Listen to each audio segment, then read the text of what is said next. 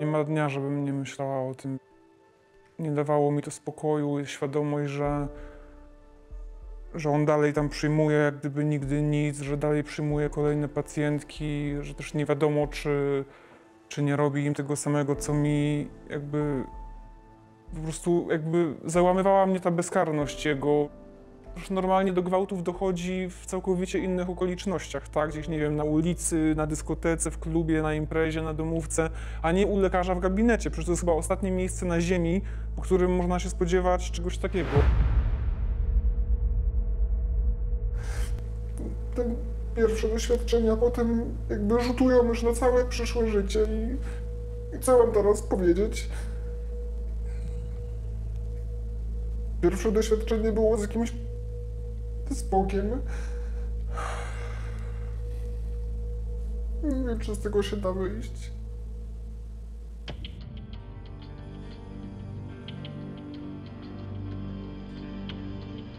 Miałam 19 lat, świeżo po maturze byłam yy, i czułam, że to taka typowa nastolatka, presję od strony koleżanek, że no najwyższa pora pójść pierwszy raz, bo koleżanki tam już opowiadały w klasie, że one już, że one już były i, jak to podatna na presję nastolatka, czułam się gorsza, że jeszcze nie byłam na pierwszej wizycie. Jakie było to twoje pierwsze wrażenie na tej wizycie?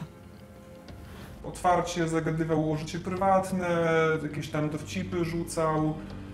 Tylko, że ja to cały czas odbierałam tak, że no, tak jak mama mnie uprzedzała, że będzie, no to jakby byłam nastawiona na to, że on będzie taki właśnie otwarty, swojski, nie taki typowy lekarz, chłodny, z opanowaniem, z dystansem.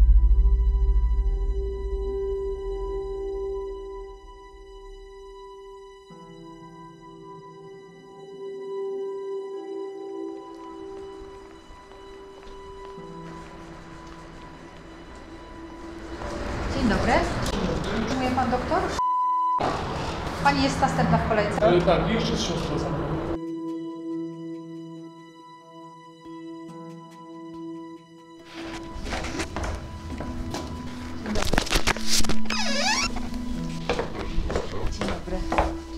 Jak on się do ciebie zwracał?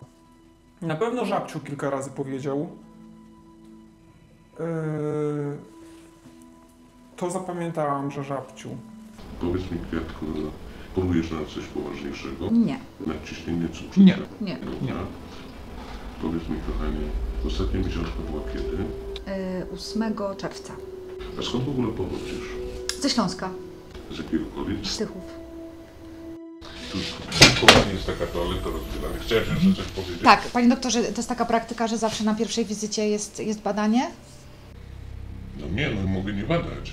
Ale wstydliwa kobieta, ja pierdzielę. Trzeba sobie na drinka palić.